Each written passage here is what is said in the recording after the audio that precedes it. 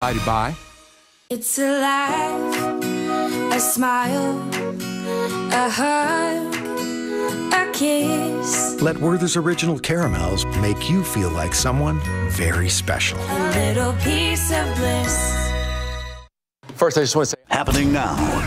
Reduced charges against a woman involved in a 2018 murder and robbery at a Northwest Side hotel. The unusual apology to the defendant in court from someone you might not expect.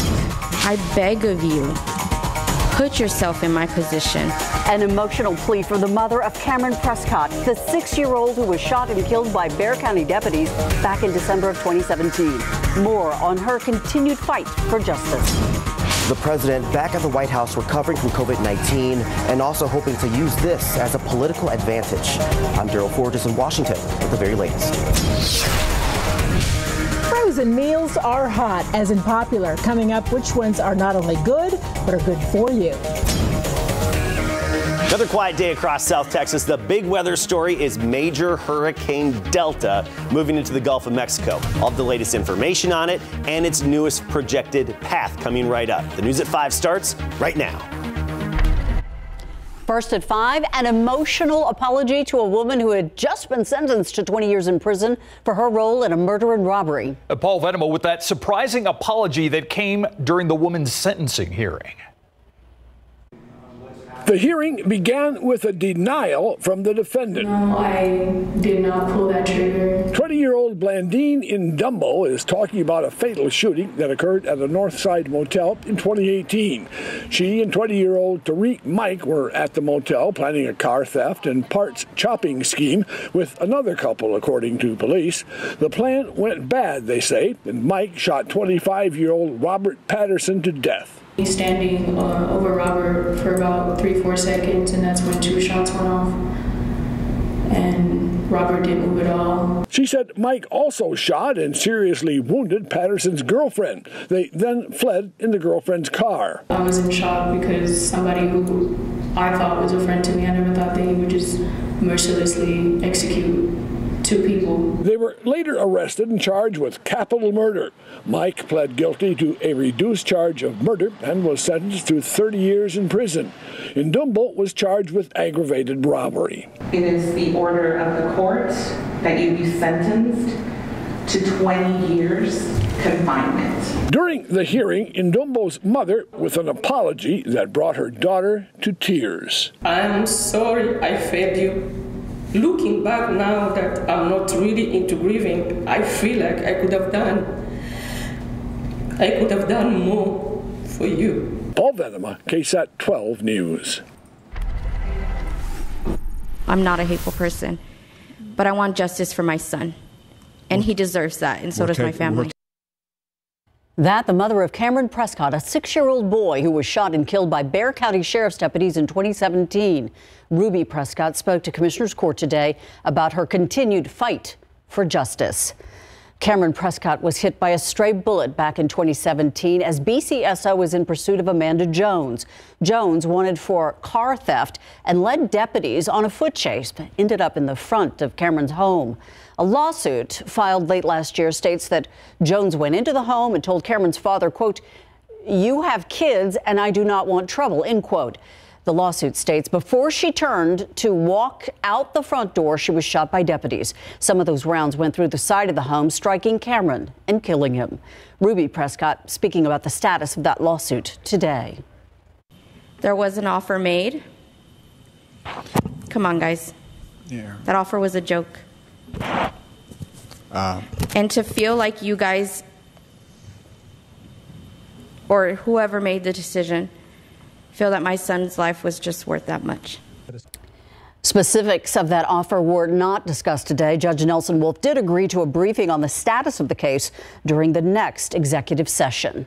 A 22 year old man now facing a charge of attempted capital murder of a police officer. Adrian Octavio Cardenas is accused of running from officers during a traffic stop last night not far from South Park Mall. Police say while trying to get away, Cardenas hid behind a telephone pole and bushes and fired a shot at an officer who was chasing. They say the officer was hit in the chest, but his body camera stopped the bullet from piercing his chest. It's the story we had on last night on the night beat. Well, according to SAPD, the officer managed to return fire, hitting Cardenas in his arm and abdomen. They say Cardenas then threw the gun into the street and was arrested by a second officer. KSAT has requested the body cam footage of the shooting, but have not received a response from SAPD yet. Well, another day in the upper 90s. Actually, a couple of clouds out there, though.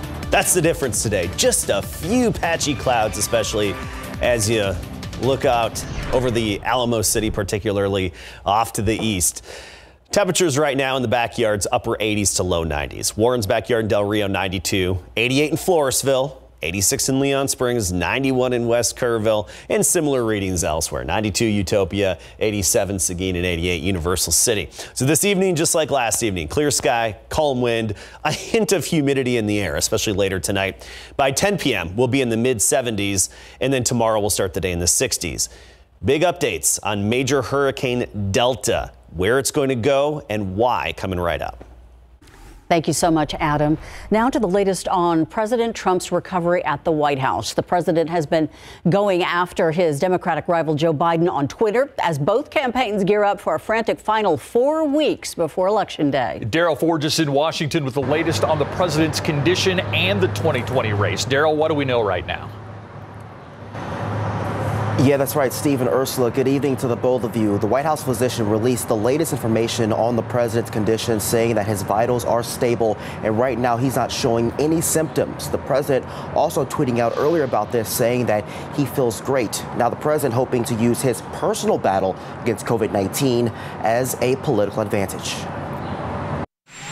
President Donald Trump returning to the White House last night, removing his mask and hoping to turn his COVID 19 diagnosis into a political advantage. The president downplaying the virus in a message to supporters, saying, Don't let it dominate you. Don't be afraid of it. But with just four weeks to go until Election Day and uncertainty about the president's health going forward, Democrats don't think that strategy will work. Former Vice President Joe Biden tweeting a video last night putting on a mask while Trump takes one off. Be afraid for your husband, your wife, your son, your daughter, your neighbor, your coworker. That's who you're protecting having this mask on. Biden is in Gettysburg, Pennsylvania on Tuesday, delivering a speech that urges Americans to come together. After a whirlwind seven days since Trump and Biden faced off on a debate stage, Wednesday night, all eyes will be on their running mates. Vice President Mike Pence and Senator Kamala Harris will go face to face in Salt Lake City in the first and only vice presidential debate. Pence expected to face some tough questions on the White House's handling of the coronavirus after President Trump, First Lady Melania Trump, and several senior staffers tested positive. I can't wait to take the debate stage against Senator Kamala Harris. As for where the voters stand on this, a new CNN poll puts Biden at a 16 point advantage nationally among likely voters. And when asked which candidate would better handle the coronavirus, Biden holds a 59 to 38 percent edge. Now, also on Twitter, the president says that he is ready to go for the debates in Miami. But the big question is, is it even going to happen? It's just nine days away. And also whether or not the Biden camp will even agree to do it since the president is still recovering from the coronavirus. Live in Washington, Daryl Forges. Steve, back to you. Now, Daryl, before you go, now that the president is back in the White House and back to work, has he made any moves on stimulus negotiations? Are Republicans and Democrats any closer to reaching a deal? Well, Steve, the president also tweeted out about it when it comes to the stimulus deal. He says he's going to stop all the negotiations until after the election. He says that uh, they, offer, they offered the Democrats a, a very generous $1.6 trillion deal, but they did not take it. Mainly the Republicans with Steve Mnuchin have been uh, doing the negotiations with the House Democrats. And as of right now, the president says he does not like what he's seeing. But keep this in mind, Steve. According to the Federal Reserve chairman, he says that a stimulus deal needs to be passed as soon as possible possible. And he is warning of a dire and tragic situation economically moving forward if one is not passed soon. Daryl Forges live in Washington. Appreciate it. Thank you, Daryl. With the voter registration deadline over, the next big step for the November 3rd general election is early voting. It begins in exactly one week from today. This year, this early voting has been extended for a few days due to the pandemic. You can cast your ballot starting on Tuesday, October 13th. The early voting period ends Friday, October 30th. Other changes this year Texans won't be able to vote straight ticket, but you can still individually select each candidate. And if you're voting by mail, you can track your ballot. You can find all this information and much more right now on ksat.com. Election day again, Tuesday, November 3rd. We've got a recall we want to warn you about Walmart pulling fresh fruit from shelves over a possible listeria contamination. That recall includes the pre cut packaged fruit sold under the brand Country Fresh. It includes containers of pre cut apples, grapes, mangoes, pineapples, and cantaloupe. They have best buy dates of October 3rd to the 11th. They were sold in nine states, including Texas. No one has gotten sick so far, but if you have these products, you should throw them out. Animal neglect cases are on the rise in San Antonio, and experts believe the reasons are pandemic related. Local experts say because people are at home more often and paying more attention to what's going on in their neighborhoods, they're now noticing more animal neglect and they're reporting it. The other reason has to do with money. Many people are in a financial crisis. They're struggling to give their pets food and shelter. If you're in that situation, there are some free resources you can take advantage of. The San Antonio Food Bank has a pet division. It's called Daisy Cares. And they are solely focused on making sure that folks that are struggling financially and things like that, not only can that family get food for themselves, but they can also get some resources for their animals uh, in, you know, in the, the form of dog food, leashes, different things like that. To apply to receive free resources for your pet, head to the Daisy Cares website, where you can find also distribution sites closest to you. And most importantly, if you want to report animal abuse or neglect, call 311. Edgewood ISD and Eagles Flight Advocacy and Outreach coming together to create a one stop shop for families and youth in need.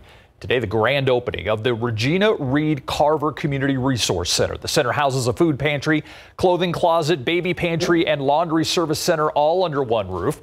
So, how did the idea come about? Pamela Allen with Eagles Flight says it stems from the Edgewood ISD Police Department's desire to better serve kids in the community helping the children be able to go to school and have that education and not be worried about their resources, their clothing, their food. And so with that, we built this. Allen says the center plans to start offering self defense classes to young girls, teenagers, and women who've been through trafficking and domestic violence. By the way, the one stop shop is open to anyone in San Antonio in need of assistance. We have more information on ksat.com. An update now on the authorization of a COVID 19 vaccine. The Food and Drug Administration now saying it will consider authorization only after it received two months of data, after trial volunteers receive the vaccine itself. The measure will make it harder to receive that emergency use authorization by Election Day. The FDA says the goal, however, is the safety of the vaccine before it's distributed to millions of Americans. Staying home more often through the pandemic may mean you're cooking more than you ever did before, but if you're getting tired of the same old recipes, up next, we have a few healthy frozen options that can make whipping up dinner easy and guilt free. But before we go to break, we want to take a moment to remember the life of rock legend Eddie Van Halen. The legendary guitarist lost his battle with cancer. He was just 65 years old.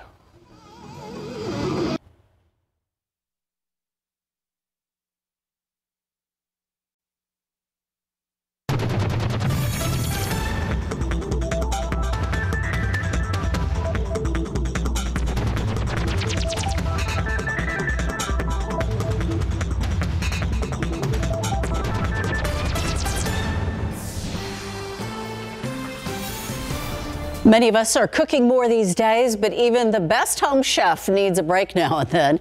If dining out or taking out isn't your thing or you're in a hurry and you need something fast, 12 on your side's Marilyn Ward says look no further than your freezer. It may have some revamped, tasty, and nutritious frozen meals. Demand for frozen meals is heating up. When it comes to frozen meals, consumers want healthy, less processed ingredients, and manufacturers are delivering on this. And we're seeing bolder flavors in different cuisines. Consumer Reports checked out 30 frozen meals you'd find in the grocery stores. What exactly is in them and how much nutritional good stuff are you actually getting? They literally picked at their plates, weighing the veggies, whole grains, and beans. Portion sizes could be small, but most had one to one and a half cups of healthy ingredients. Our highest scoring frozen meals were not only tasty, but also had mostly whole food ingredients and were lower in sodium. They found companies are offering plenty of spices and interesting vegetarian options, but they scored many of the chicken dishes lower because the chicken was dry or chewy. So if you're looking for a quick frozen meal that's good and is good for you, Consumer Reports has a few suggestions. The unwrapped burrito bowl from Healthy Choice Steamers. It's spicy with a tangy tomatillo sauce. Bird's Eye Steamfresh Superfood blends chickpeas and spinach is a brown rice and barley dish with veggies dressed in citrus flavors. And Amy's Bowl's Harvest Casserole is a tangy mix of red beans, quinoa, sweet potato, kale, and broccoli. Bon appetit. Marilyn Moritz, KSAT 12 News. All right, so we continue to watch the Gulf to see exactly what's going to happen with Delta. Yeah, and that's the uh, big question is exactly where it's going to go. We have a pretty good idea of where it should go as we get toward the end of this week, making landfall along the North Texas coastline. So let's get right to it. Take a look at our sky, it's very quiet. A few patchy clouds east of town, not even detected here on the infrared satellite imagery. But what's obvious and stands out is Hurricane Delta, now major category four hurricane, max sustained winds of 145 with some gusts up to 175. It's still a pretty tightly packed storm. Good thing about that is it contains the highest winds closer to the center of the storm rather than reaching them farther out. However, it should become a little looser as it gets into the Gulf of Mexico and stretch out a little bit more. Either way, move to the west northwest now 17 miles per hour. We'll take a look at the track and basically anywhere from about Cozumel to Cancun early tomorrow morning, we are expecting landfall as a Category 4 hurricane. As usual, with interaction with the land, it would weaken a little bit to a Category 3 by tomorrow afternoon as it emerges into the Gulf of Mexico. However, conditions are favorable in the central and southern Gulf for further strengthening. So, not surprisingly, we're expecting it to be back up to a category four as we get into Thursday and especially Friday time frame.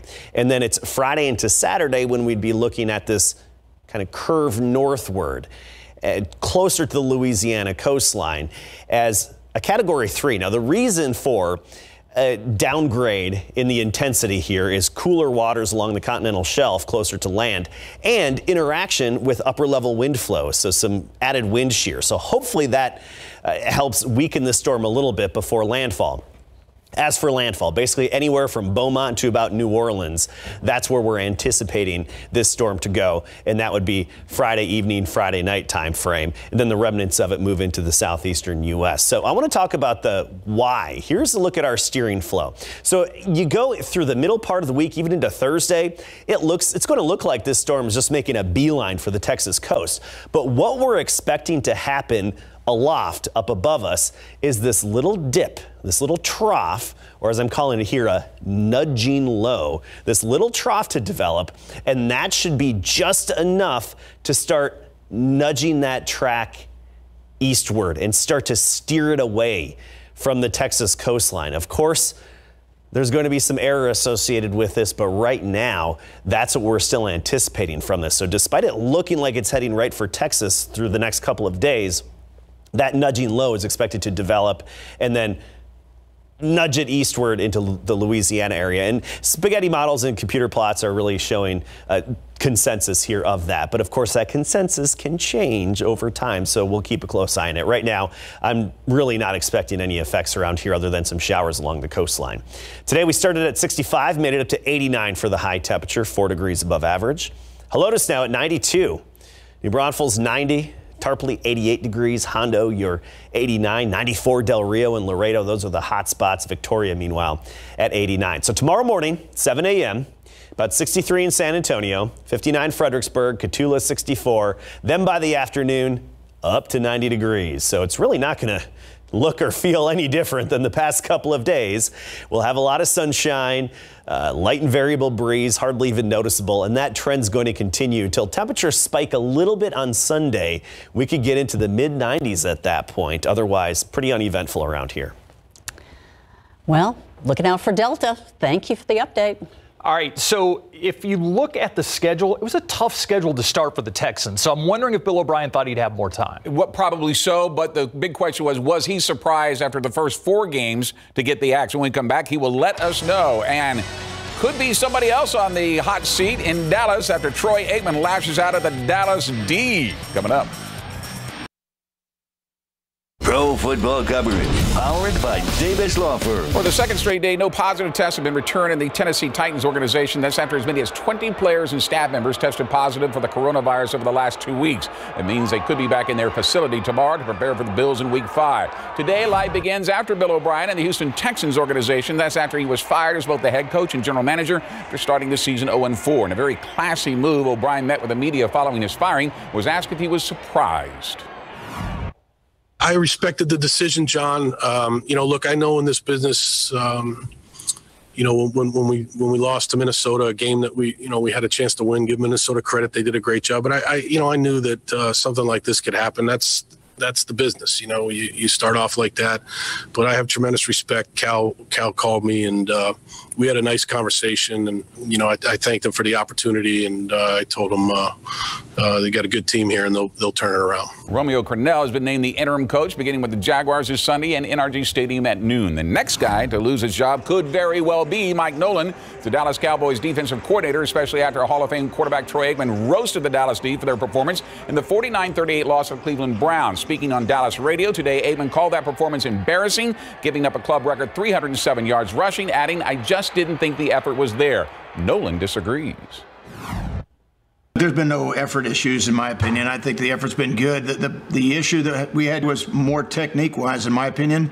Uh, and when one technique breaks down for one player, obviously it, it affects another player next to him. And uh, and we did not, you know, we didn't play very well. Obviously, I'm not skirting the issue at all. We played very poorly. That's just, I mean, uh, I hope we don't have to live through another one of those. Um, but if we don't get things corrected, it could happen. That doesn't sound encouraging. Cowboys owner Jerry Jones confirmed today they looks like they've lost offensive lineman La'el Collins to season-ending hip surgery, and Joe Looney is out with a knee injury.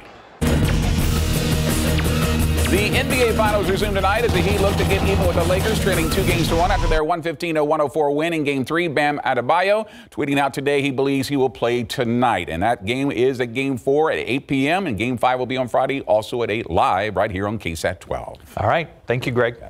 We'll be right back. We have a reminder there's a flu shot drive this weekend. Our KSAT community partners are working with Bexar County Precinct 2 Commissioner Justin Rodriguez to hold the drive this Saturday, October 10th. It's from 9 in the morning until 2 in the afternoon at Nelson Wolff Stadium. Registration is required. You can't just show up, so you have to you can find more information right now at ksatcommunity.com. Thanks so much for watching the news at 5. World News up next. We'll see you back here at 6.